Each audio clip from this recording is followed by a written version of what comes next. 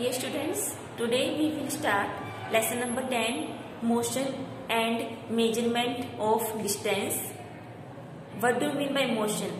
Motion क्या होता है Motion means movement means motion का मतलब होता है हिलना डुलना या फिर you can say to move from one place to another place. एक स्थान से दूसरे स्थान पर जाना इस चीज़ को भी अपन मोशन बोलते हैं and what do mean by measurement measurement means नापना एंड डिस्टेंस मतलब दूरी।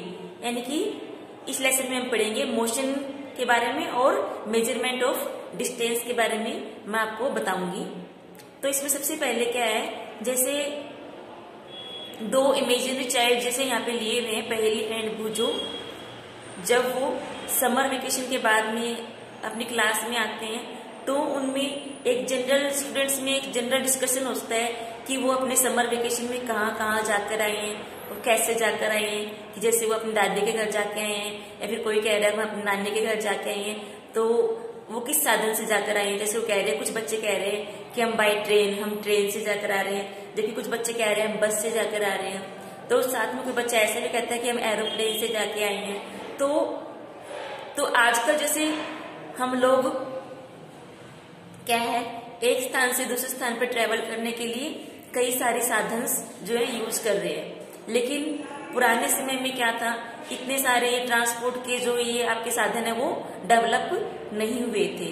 तो उस समय पर लोग क्या यूज़ किया करते थे?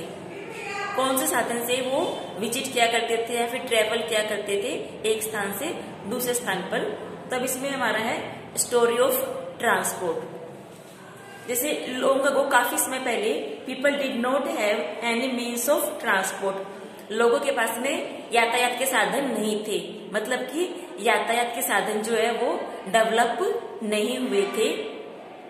They use to move only on foot and carry goods either on their back और यूजिंग एनिमल्स तो उस समय पर वो लोग एक स्थान से दूसरे स्थान पर जाने के लिए क्या यूज़ करते थे? बाय फुट मीन्स पैदल ही जाया करते थे और अपना जो सामान है, वो अपनी बैक यानी कि पीठ पे रख करके या फिर एनिमल्स पर रख करके एक स्थान से दूसरे स्थान पर ले जाया करते थे। और साथ ही साथ जैसे जो वाटर रूट्स होते हैं, जैसे कोई रिवर वगैरह है, यहाँ पर ट्रेवल करने के लिए वो बोट्स नाम यूज़ किया करते थे।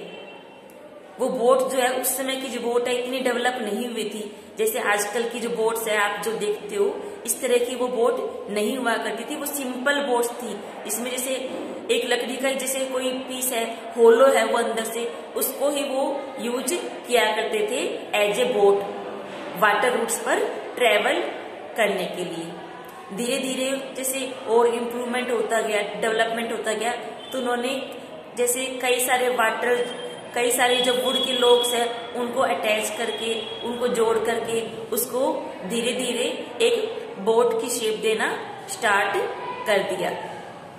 बोट की शेप उन्होंने कैसी दी? वो दी उन्होंने स्ट्रीमलाइंड शेप स्ट्रीमलाइंड शेप जैसे कि फ़िश की होती है, जो कि मैंने आपको बता रखा है स्ट्रीमलाइंड का मतलब क्या होता है?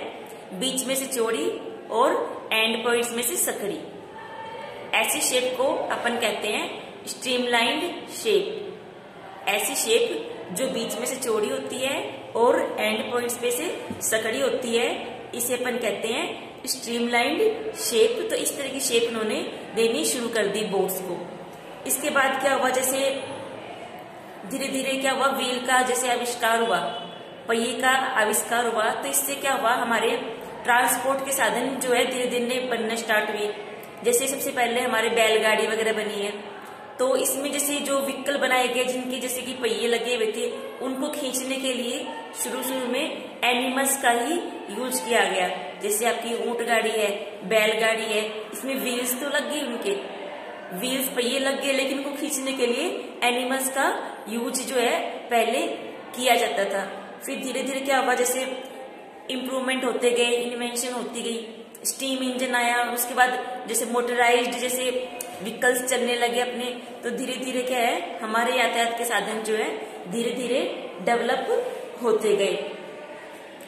द अर्ली ईयर्स ऑफ़ 1900 सा द डेवलपमेंट ऑफ़ एरोप्लेन्स और 1900 के शुरुआती ईयर्स में, शुरुआती साल में जो है एरोप्लेन्स डेवलप होने लगे थे, बनने लगे थे। और ट्वेंटी सेंचुरी के जैसे शुरुआत में बीसवीं शताब्दी में और भी ज़्यादा इम्प्रूवमेंट हुआ। जैसे हमारे इलेक्ट्रिक ट्रेन बनने लगी monorails supersonic aeroplanes spacecraft ये सब जो साधन है, वो धीरे धीरे हमारे डेवलप होते चले गए।